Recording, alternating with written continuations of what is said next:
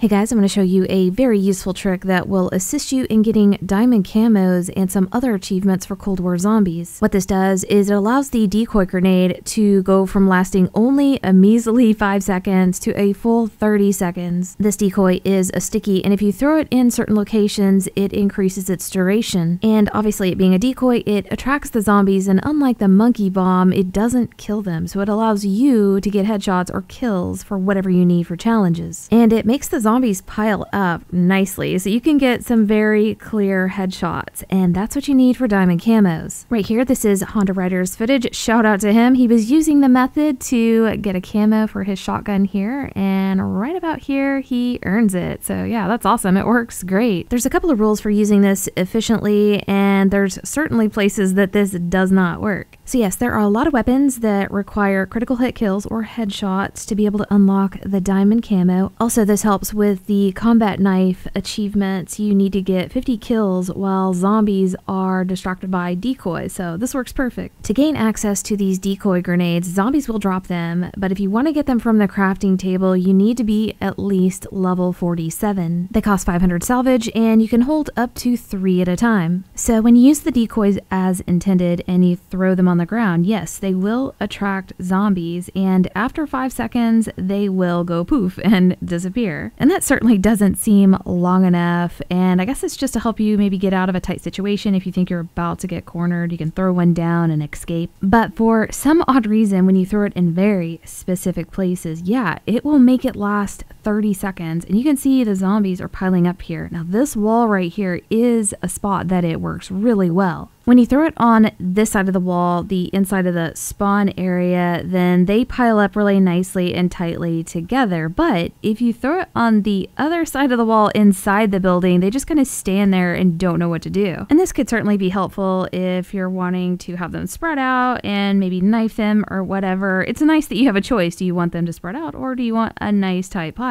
And some things you don't want to do if you're going for headshots and going for diamond is do not get elemental pop. And obviously when you pack a punch, don't get any additional ammo types because, yeah, that could ruin the headshots. But yeah, you can see how weak this is when you just throw it on the ground. Now, the zombies aren't destroying it, it just has a duration of five seconds, and that's it. Being a glitcher for all these years, you can tell when something has the potential to glitch out even more and do even better. And I feel like this could be a situation where that could happen. Unless this is intentional, I'm just not sure. But for some reason, this is some kind of magic wall where it works really good. And I don't know, maybe we need to investigate the graffiti on that wall. It might say something like magic decoy wall on it or something, but I seriously doubt it. I believe there's a spot inside the building where you can throw it on the ceiling, but they don't pile up very well. They kind of scatter and go on the second floor, and yeah, they just don't pile up as well as they do right here. But there's a possibility that we could find a location to stick this where it lasts a really long time or maybe even forever. I tried throwing and sticking the decoy to different surfaces inside of the spawn area, including some of the wall on Nacht, and all of them just made the decoy disappear. Right here, I tried to throw it on the rock and it immediately just exploded and disappeared. Then I tried it on the side of the tank, same thing, it just evaporated. I tried it on a closed door to the inside of Nacht and it just explodes as soon as it hits it. I also tried it on the wall next to the wall that it works and it doesn't work. Same thing, it explodes and disappears. I thought for sure it would stick to a tree. Maybe I threw it up too high, but yeah, that was a no-go. This is a new trick, method, glitch, whatever you want to call it, so there's still plenty to explore and see what all it can do. This decoy can be destroyed by your guns or explosions, so just be aware of that if you are using it to pile them up against that wall. Just make sure you place it high enough or maybe even on the inside of the wall to keep it safe. But I hope this helped you guys out, and we'll see you next video.